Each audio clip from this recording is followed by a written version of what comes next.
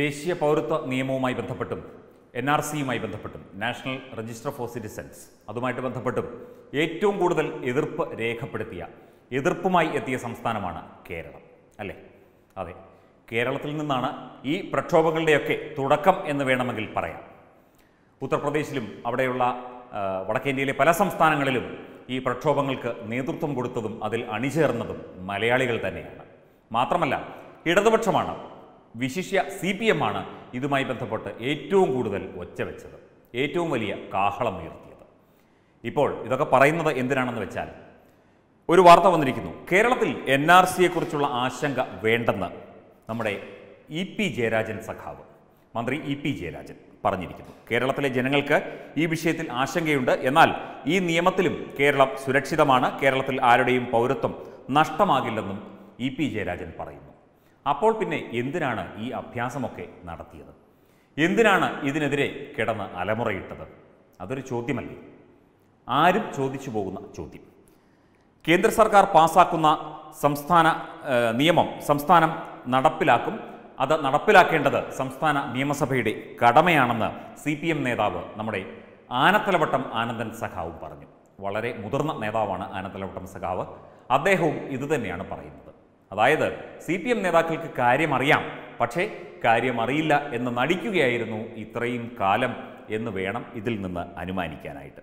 സത്യമല്ലേ? രാജ്യത്ത് ഒരു നിയമം പാസാക്കിയാൽ അത് അനുസരിക്കാൻ എല്ലാവരും ബാധ്യസ്ഥരാണ്. യു എ പി എ പാസ്സാവുന്നതിന് മുൻപ് ശക്തമായ നിലപാടാണ് സ്വീകരിച്ചത്. പാർലമെന്റിനകത്തും പുറത്തും പ്രതിഷേധങ്ങൾ നടത്തിയിരുന്നു. എന്നാൽ കേന്ദ്ര സർക്കാർ ഇരുസഭകളിലും നിയമം പാസാക്കി. ഇതോടെ സി പി എമ്മുകാരനും ബി ജെ പിക്കാരനും കോൺഗ്രസ്സുകാരനും ഈ നിയമം അനുസരിക്കാൻ ബാധ്യസ്ഥ ബാധ്യസ്ഥരാണ്. ഇതാണ് യു എ പി എയിൽ സി പി എമ്മിന്റെ നിലപാട്. അതായത് വളഞ്ഞ് മൂക്കിന് പിടിക്കുകയാണ് പറയാതെ പറയുകയാണ് ചെയ്യുന്നത്. രാജ്യം പാസാക്കിയ നിയമം ഭരണഘടന അനുസരിച്ച് പ്രവർത്തിക്കുന്ന എല്ലാ സംസ്ഥാനങ്ങളും അനുസരിക്കണമെന്ന് ഹരിശ്രീ അറിയാവുന്നവർക്ക് അറിയാമെന്ന് ആനത്തലവട്ടം ആനന്ദൻ പറയുന്നു.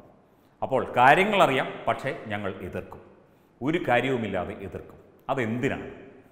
എന്തിനാണ് ഇതിനെ എതിർക്കുന്നത് എന്ന ചോദ്യമാണ് സാധാരണക്കാരായ ജനങ്ങൾ ഇപ്പോൾ ഈ സി നേതാക്കളോട് വ്യവസായ മന്ത്രി ഇ പി ജയരാജൻ അടക്കമുള്ള നേതാക്കളോട് ചോദിച്ചു പോകുന്നത്. അല്ല അതാരായാലും ചോദിച്ചു പോകുമല്ലോ. ഈ രീതിയിൽ ഒരു നിയമത്തെ നഖശിഖാന്തം എതിർത്തിട്ട് അന്ധമായി എതിർത്തിട്ട് ആ നിയമം രാജ്യത്ത് പാസ്സാക്കാനുള്ളതാണ് എന്ന് പറയുന്നു.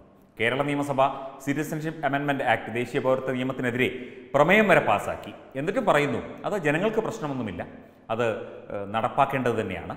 രാജ്യത്തിന്റെ നിയമം കേരളവും നടപ്പിലാക്കേണ്ടത് തന്നെയാണ് എന്ന്. ഈ രണ്ട് വള്ളത്തിലും നാല് വള്ളത്തിലും ചവിട്ടുന്ന സി പി എമ്മിന്റെ അവസരവാദ നിലപാടാണ് ഇതിൽ നിന്ന് വ്യക്തമാകുന്നത് എന്നത് പകൽ പോലെ വ്യക്തം അല്ലേ? തീർച്ചയായും അതെ. ഇത്തരത്തിലാണ് ഇവിടെ ജനങ്ങളോട് സി പി എം പ്രവർത്തിക്കുന്നത് പെരുമാറുന്നത്. ആദ്യം പറയുന്നു തെറ്റിദ്ധരിപ്പിക്കുന്നു തെറ്റിദ്ധരിപ്പിക്കാൻ ശ്രമിക്കുന്നു പ്രക്ഷോഭമുണ്ടാക്കുന്നു സമരം നടത്തുന്നു ഡൽഹിയിൽ പോയി സമരം ചെയ്യുന്നു അറസ്റ്റ് വരിക്കുന്നു. എന്നിട്ട് അവസാനം പറയുന്നു എല്ലാവരും ഇതനുസരിക്കണം എന്ന്. എന്ത് എന്ത് നാടകമാണിത്? എന്ത് നടപടിയാണിത്? ഒരു സംസ്ഥാനത്തിന്റെ ഭരണം കൈയാളുന്ന പാർട്ടി ആ പാർട്ടിയുടെ പ്രമുഖരായ നേതാക്കൾ. മുഖ്യമന്ത്രി പിണറായി വിജയൻ ഇത് അറിയുന്നുണ്ടോ? താങ്കളുടെ ഇ പി ജയരാജൻ സഖാവ് താങ്കളുടെ വലിയ അടുത്ത വിശ്വസ്തനല്ലേ? അദ്ദേഹം പറയുന്നതൊക്കെ താങ്കളും അറിയുന്നുണ്ടോ? അറിയേണ്ടതല്ലേ? എന്തിനായിരുന്നു ഈ അലമുറയിടലും ഈ ബഹളം കൂട്ടലും ഈ ജനങ്ങളെ തമ്മിൽ തല്ലിക്കലും? വെറുതെ. അപ്പോൾ ഇതൊക്കെ അണികൾ ഒന്ന് മനസ്സിലാക്കിയിരുന്നാൽ കൊള്ളാം സി പി എമ്മിന്റെ നിങ്ങൾ തല്ലുകൊള്ളാനും സമരം ചെയ്യാനും പോകുന്നവരല്ലേ? നിങ്ങളുടെ നേതാക്കൾ അവസാനം ഇതുപോലെ കാലുമാറും. അപ്പോൾ നിങ്ങൾ ഇവർ പറയുന്നത് കേട്ട് ഉടനെ വടിയുമെടുത്ത് തെരുവിലിറങ്ങാൻ ശ്രമിക്കാതെ എന്താണ് കാര്യം എന്നൊന്ന് ആലോചിച്ച് നോക്കിയാൽ നന്നായിരിക്കും. തീർച്ചയായും അതുതന്നെയാണ് വേണ്ടത്. എന്തിനായിരുന്നു ബഹളം കൂട്ടൽ? മിണ്ടാട്ടമില്ല ഉത്തരമില്ല. ആ ആ രീതിയിലേക്ക് ആ സ്ഥിതിയിലേക്ക് കാര്യങ്ങൾ എത്തിയിരിക്കുന്നു. അതായത് വെറുതെ അന്ധമായി കേന്ദ്ര സർക്കാരിനെയും ബി ജെ പിയെയും നരേന്ദ്രമോദിയെയും അമിത്ഷായെയും എതിർക്കുക എന്നത് ജീവിതവ്രതമാക്കിയവർക്ക് ഇതൊക്കെ എന്ത്? നാണക്കേടുണ്ടാക്കുന്ന കാര്യമാണ്. പക്ഷേ ഇന്നും ഇതൊന്നും ഇടത് നേതാക്കൾക്കും ഇതുപോലെ സി പി എമ്മിന്റെ നേതാക്കൾക്കുമൊന്നും നാണക്കേടല്ല. കാരണം അവസരവാദവും മലക്കമറിച്ചിലുമൊക്കെ ഇവർക്ക് പരിചിതമാണല്ലോ. ആസാമിലെ അക്കൗണ്ട് കരാറുമായി ബന്ധപ്പെട്ട് കഴിഞ്ഞ ദിവസം സീതാറാം യെച്ചൂരി നടത്തിയ പ്രസ്താവന ശ്രദ്ധിച്ചുവല്ലോ. അവിടെയും പ്രശ്നമൊന്നുമില്ല. അവിടെ ചെന്നപ്പോഴും അടവ് മാറി. ഓരോ സംസ്ഥാനത്തും ഓരോ അടവ് ഓരോ നിലപാടിനും ഓരോ രീതിയിലുള്ള പ്രതികരണങ്ങൾ ഓരോ തരത്തിലുള്ള വ്യാഖ്യാനങ്ങൾ എല്ലാം നടത്തിക്കൊണ്ടിരിക്കുന്നു. നിങ്ങൾ ഏതെങ്കിലും ഒന്നിൽ ഉറച്ചു നിൽക്കൂ പ്രിയപ്പെട്ട സഖാക്കളെ. Web desk Tatwamayi news.